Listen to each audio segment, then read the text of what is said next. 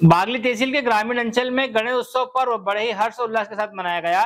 गुरुवार के दिन सभी गणेश पंडालों में गणपति बप्पा मोरिया, अगले बरस तो जल्दी आ, के जयकारों के साथ गणपति जी की विदाई की गई। इस दौरान बागली तहसील चापड़ा नगर के प्राचीन गणेश मंदिर पर जितेंद्र पाटीदार और संजय पाटीदार द्वारा गणेश जी की महाआरती की गई और लड्डू की प्रसादी का वितरण किया गया।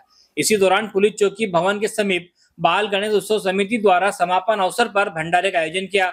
वहीं हाट पिपलिया मार्ग पर जय श्री महाकाल समिति द्वारा आयोजित गणेश उत्सव कार्यक्रम के समापन पर भव्य भंडारे का आयोजन किया गया, जिसमें हज़ारों की संख्या में श्रद्धालुओं ने प्रसादी ग्रहण की।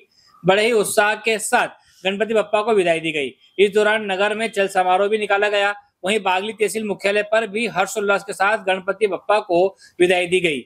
बागली से रवि पाटीदार की रिपोर्ट।